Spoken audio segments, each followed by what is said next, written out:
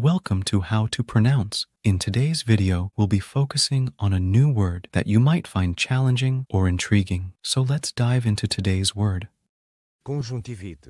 which means Inflammation of the conjunctiva, causing redness and discomfort in eyes. let's say it all together. Conjuntivite. Conjuntivite. Conjuntivite. One more time. Conjuntivite. Conjuntivite. Conjuntivite. Thank you for joining us on this adventure in pronunciation. Remember, language is a journey, not a destination. Keep exploring, experimenting, and expanding your linguistic horizons. We'll see you next time.